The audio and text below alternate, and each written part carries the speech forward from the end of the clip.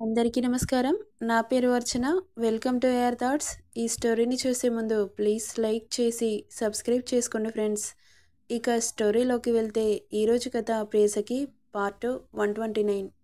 Fresh వచ్చి ఆమె పక్కన చేరాడు హర్షిత్. సైడ్కి పడుకోవడం వల్ల రైట్ చీక్ నొక్కుకొని ముద్దగా కనిపిస్తుంటే అలాగే చూస్తూ రాక్షసి నా మనసును చేజెక్కించుకొని ఇన్ని రోజులు నన్ను అల్లాడించావు కదే? నీలో ఏదో మాయ ఉందే. ఎందుకు నీకే పడిపోయాను అంటే నా దగ్గర సమాధానం లేదు. ఏమో నాకు తెలియకుండానే నా ఊపిరిగా కలిసిపోయావు అని ఆమె మోముని తనివి తీరా చూసుకుని నుదుటి మీద పెదవులు నిలిపి గుండెలకి అదుముకున్నాడు. అతడి స్పర్శకి కదులుతుంటే మెల్లగా తల నిమిరాడు. నేను కాల్ చేస్తే ఎందుకు లిఫ్ట్ చేయలేదు? అనింది కళ్ళు మూసుకుని. మూసిన కళ్ళ మాటన ముద్దాడాడు. కళ్ళు తెరిచింది. ఎదురుగా చక్కగా కనిపిస్తున్న నీలరాజుని చూసి క్షణం చూపు నిలిపి మార్నింగ్ నుండి కాల్ లిఫ్ట్ చేయలేదని గుర్తొచ్చి మూతి ముడుస్తుంది ఆరో ఏమైంది బేబీ? మూతి అలా పెట్టావు? నేను నీతో మాట్లాడను అంటూ అటువైపు తిరిగింది. అమ్మో స్వీటీ హాటీ అయిందేంటో? అన్నాడు. మాట్లాడలేదు ఆరు. వెనుక నుండి హత్తుకొని ఆమె మెడవంపలో పెదవులు నిలిపి బేబీ అన్నాడు గారంగా. పో అని లేచి కూర్చుంది. ఆమె నడుం చుట్టూ చెయ్యి వేసి ఒడిలోకి తెచ్చుకొని ఆమె చెవిని కొరుకుతూ ఆఫీస్లో చాలా బాగుంది అందుకే కాల్ చేయలేదు. అన్నాడు.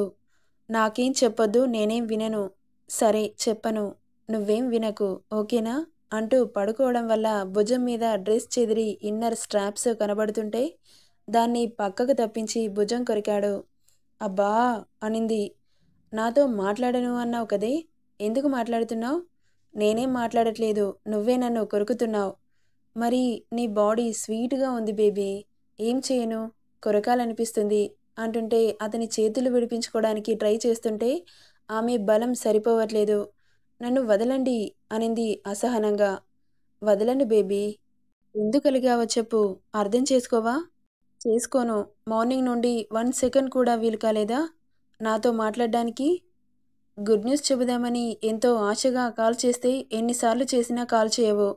అంతేలే ఇక ఎలాగో ఇది నన్ను వదిలి ఎక్కడికి వెళ్ళదు అని అలా అవాయిడ్ చేస్తున్నావు. నా పాప నడుం బాబు చేతిలో పచ్చడైంది. ఆరు ఫేస్ రెడ్ పెయింట్ వేసుకుంది. ఇంకోసారి పిచ్చిగా మాట్లాడితే గిల్లను కొరికిస్తాను. నీకేంటి బాబు? గిల్లుతో కొరికిస్తావు. కోపం వస్తే చంపేస్తావు. నా బాధ మాత్రం నీకు అర్థమవ్వదు. అంటున్న ఆమె మాటలకి బాబుకి కోపం వచ్చి ఒడిలో ఉన్న ఆరుని అతని వైపుకి ఫోర్సుగా తిప్పుకొని ఆమె పెదవులు అందుకొని గట్టిగా కొరికేశాడు. పెదవి చిట్లి బ్లడ్ వస్తుంటే వదిలి ఏం మాట్లాడుతున్నావే? ఊరుకుంటున్నాను కదా అని ఎక్కువ మాట్లాడితే నిజంగానే చంపేస్తా. ఇప్పుడు చెప్పు ఏంటి నీ ప్రాబ్లం? అంటున్న హర్షిత్ మాటలకి కళ్ళ నీళ్ళతో చూస్తుంది. ఆమెను అలా చూసి చిరాకు వస్తే ఆమెను వదిలి టేబుల్ డ్రాలో సిగర్ తీసుకుని విసురుగా బాల్కనీలోకి వెళ్ళాడు. వెళ్ళిన హర్షిత్ని చూస్తూ ఉంది ఆరు ఇక అతని వెనకాలే వెళ్ళింది. సిగర్ పీలుస్తూ కనిపించాడు. అతని ముందుకెళ్ళి పెదవుల మధ్యలో ఉన్న సిగరెట్ని సీరియస్గా చూస్తూ తీసి పక్కన విసురు కొట్టింది ఇంకొకసారి ఈ దరిద్రం నా కళ్ళకు కనిపిస్తే అస్సలు ఊరుకోను అంటున్న ఆరుని షార్పుగా చూసి వెనక రాడ్కి లాక్ చేసి అతడి ఫేస్ ఆమె దగ్గరగా తీసుకొచ్చి ఏంటి నీ బాధ? ఎందుకు విసిరుకొట్టావు? అంటాడు అతని ఊపిరి ఆమెకు తగులుతుంటే పరవశంగా ఫీల్ అవుతూ ఉంది. ఏయ్ ఏం మాట్లాడవేంటి? నా మొగుడికి బ్యాడ్ హ్యాబిట్స్ ఉండడం నాకు ఇష్టం లేదు. స్మోకింగ్ డ్రింకింగ్ అన్ని బ్యాన్ చేసేయాలి అనింది. లేకపోతే? అన్నాడు గొంతు పెంచి. నేను కూడా నీలాగే డ్రింక్ చేస్తా స్మోక్ చేస్తా. అయితే ఇప్పుడే స్టార్ట్ చేయి అంటూ ఆమె మెడ మీద పంటిగాటు పెట్టాడు. హా అంటూ అరిచి దూరం తోసింది. నువ్వే కదా స్టార్ట్ చేస్తా అన్నావు? ఇప్పటి నుండి ఇంప్లిమెంట్ చెయ్యి సిగరెట్ తీసి ఆమె నోటి ముందుంచాడు. చీ అని దాన్ని తీసి నేలకు విసిరికొట్టింది. ఎక్కువ చేస్తే బలవంతంగా తాగించాల్సి వస్తుంది అన్నాడు. అవునా? అయితే సరే ఎలా తాగిస్తావో చూస్తాను అంటూ అతడి ముందు ముందుకు వస్తుంటే ఆమెని ఫోర్స్గా మీదకి లాక్కున్నాడు. ఇద్దరి మధ్య అర ఇంచు గ్యాప్ మాత్రమే ఉంది. సిగర్ తీసి వెలిగించి ఒక పఫ్ పీల్చి దాని పక్కన పడేసి షూతో క్రష్ చేసి సెకండ్ ఆలస్యం చేయకుండా ఆమె పెదవులని అందుకొని గాఢంగా ముద్దు పెట్టాడు. అతనిలోని స్మోక్ ఆమె గొంతులోకి వెళ్తుంటే గొంతు మంటగా అనిపిస్తుంది ఆరుకి. ఊపిరాడక అతని గుండెలపై చేయి పెట్టి వెనక్కి తోస్తుంది. ఆమెకు ఊపిరి భారమవుతుందని అర్థమైన హర్షిత్కి అతడి ఊపిరిని ఆమెకు ఆయువుగా ఇచ్చి అలాగే కంటిన్యూ చేస్తున్నాడు. స్మూత్గా కాస్త డీప్గా మారింది. ఇంకాసేపటికి హార్డ్గా మారుతుంటే ఆమె కళ్ళల్లో నుండి నీళ్ళు అతని చెంపలని తాకగానే వదిలాడు. అలా వదలగానే ఫోర్స్గా వెనక్కి తోసి రూమ్కి వెళ్ళింది. స్మోక్ అంతా గొంతులోకి పోయి మంట పుడుతుంటే దగ్గుతూ వాటర్ కోసం వెక్కుతుంటే బాటిల్ తీసి ఆమె చేతిలో పెట్టాడు. తల తిప్పి చూసింది తీసుకో అన్నట్లు ఇస్తుంటే ఏం అవసరం లేదు అన్నట్లు పక్కకు తిరిగింది. నా దగ్గర పొగరు చూపించావనుకో అస్సలు బాగోదు. నోరు మూసుకొని తీసుకో అంటూ బాటిల్ తీసి ఆమె చేతిలో పెట్టి బెడ్ మీద కూర్చొని ఏంటి? ఏమన్నావు? చంపినా చంపేస్తానా? నన్ను బాగానే అర్థం చేసుకున్నావు. Okay all right. నిన్ను చంపుతాను కదా? అంత భయం ఉన్నదానివి నా దగ్గర ఎందుకుంటున్నావు? వెళ్ళిపో ఇక్కడి నుండి అన్నాడు. రోషంగా అతన్ని చూస్తూ అలాగే నిలబడింది. అర్థం చేసుకోవా? మార్నింగ్ నుండి బిజీగా ఉన్నానని చెబుతున్నానుగా. కనీసం వాటర్ తాగడానికి కూడా టైం లేదు. స్టాఫ్ చేసిన వర్క్ మొత్తం చెక్ చేసి ఈవినింగ్ కాస్త టైం దొరికితే బోర్డు మెంబర్స్తో మీటింగ్ అరేంజ్ చేయమని చెప్పాను. ఇప్పటి వరకు మీటింగ్లోనే ఉన్నాను. ఇప్పుడే ఫినిష్ అయింది ఇంటికి వచ్చాను అన్నాడు. అక్కడి నుండి వెళ్ళి విండో దగ్గర నిలబడి ఇక క్షణం ఆలస్యం చేయకుండా పరుగున వెళ్ళి వెనక నుండి హత్తుకుంది. లీవ్ మీ ఎలోన్ అన్నాడు. నన్ను వదిలి ఉంటావా చిన్న? అనింది బేలగా. అతన్ని ఇంకా గట్టిగా హత్తుకుంటూ ఆమె మాటలకి కన్నింగ్ స్మైల్ ఇస్తూ వెనక్కి తిరిగి హత్తుకుంటూ నిన్ను వదిలి ఉండలేను అనే కదా ఇలా మాట్లాడుతున్నావు? అన్నాడు. ఆమెను ఇంకాస్త పొదివి పట్టుకుంటూ అతని మాటలకి గుర్రుగా చూస్తూ ఆ మాట నేననాలి మీరు కాదు అనింది. నన్ను వదిలి వెళ్ళిపో అన్నారుగా వెళ్ళిపోనా? వెళ్తావా? అన్నాడు కళ్ళలోకి సూటిగా చూస్తూ. మీరు వెళ్ళమంటున్నారుగా? అయితే వెళ్తావన్నమాట? అవును రేపే వెళ్తున్నాను మా ఇంటికి అంటున్న ఆరు బుగ్గ బూరె అయింది. చంపుతా నన్ను వదిలి ఎక్కడికైనా వెళ్తే మంట పుట్టిన బుగ్గని రుద్దుకుంటూ మరెందుకు వెళ్ళమన్నారు? అందుకే వెళ్తున్నాను. ఆరు నాకు బీపీ పెంచకు నిజంగా కోపంలో చంపినా చంపేస్తాను. మీ చేతిలో చనిపోవడం కంటే నాకు ఇంకేం కావాలి? బాగా మాటలు నేర్చావు కదా? అదేం కాదు నిజంగానే రేపు వెళ్తున్నాను. మా ఇంటికి అంటున్న ఆరు మాటలకి కళ్ళు చిన్నవి చేసి చూసి ఎందుకు? ఎందుకంటే రేపు మన ఎంగేజ్మెంట్ నాన్న సైడ్ బంధువులు వస్తారు. సో అందుకే వెళ్దాం అనుకుంటున్నాం. రేపు మన ఎంగేజ్మెంట్ ఫిక్స్ చేశారు. అందుకే కాల్ చేశా. తమరే లిఫ్ట్ చేయలేదు. పైగా నన్నే తిడుతున్నారు అంటూ కళ్ళు తిప్పింది. ఓహ్ అదా మ్యాటర్. అందుకేనా ఇంత క్యూరియాసిటీ? అంటూ అమాంతం లిఫ్ట్ చేశాడు. గాలిలో తేలుతున్నట్లు అనిపించి కళ్ళు విప్పార్చింది. ఆమె నుదురుకి అతని నుదురు తాకిస్తూ అయితే రేపు ఆఫ్ మ్యారేజ్ అయిపోతుందన్నమాట. సరే కానీ ఎంగేజ్మెంట్ అయితేనే మీ రిలేటివ్స్ని కూడా ఇక్కడికి పిలుద్దాం అన్నాడు. అది కాదు సార్ అమ్మాయి వాళ్ళ ఇంట్లోనే ఎంగేజ్మెంట్ జరపాలి. అది ఆచారం. "హా, ఇదొకటి ఉందా? అంటూ ఆమెను దించు ఓ నిట్టూర్పు విడిచాడు. ఏమైంది సార్? అనింది. ఏమైందేంటి? నన్ను వదిలి వెళ్ళాలనుందా? అన్నాడు అలకగా. కొన్ని రోజులేగా పెళ్ళైతే శాశ్వతంగా మీతోనే ఉంటాగా? ఏమో బేబీ నువ్వు కనబడక ముందు నీకోసం నిరీక్షించాను. నువ్వు కనబడిన తర్వాత నేను ఉండి ఒక్క క్షణం కూడా ఎడబాటుని భరించలేను. మరీ అలా అయితే ఎలా సీఈఓ సార్? ఇంత పెద్ద బిజినెస్ మ్యాన్? ఇంత చిన్న మామూలు సగటు అమ్మాయి గురించి ఇంతలా తాపత్రయపడడం బాగోదు సార్ అన్న ఆరు మాటలకి రెడ్ మిర్చిలాగా మారింది బాబు ఫేస్. ఏంటి ఏం మాట్లాడట్లేదు అంటూ తలెత్తి చూడగానే బాబాయ్ కోపంతో ఎర్రగా మారిన ఫేస్ని చూసి కొంచెం వణికింది. ఏమంటాడో అని తల కిందికేసి నేలచూపులు చూస్తున్న ఆరుని అలాగే చూస్తూ అనేవన్నీ అనేసి మళ్ళీ ఏం తెలియనట్లు ఇన్నోసెంట్లా ఫేస్ పెడతావు?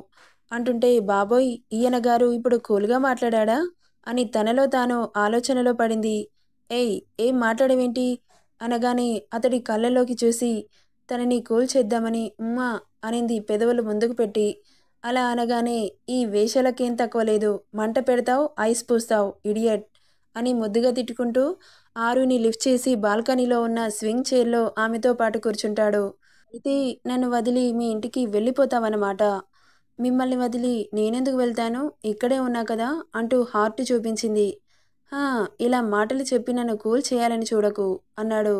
సరే కానీ ఇప్పటి వరకేంటి అంత ర్యాష్గా బిహేవ్ చేశారు? అని మూతి ముడిచింది.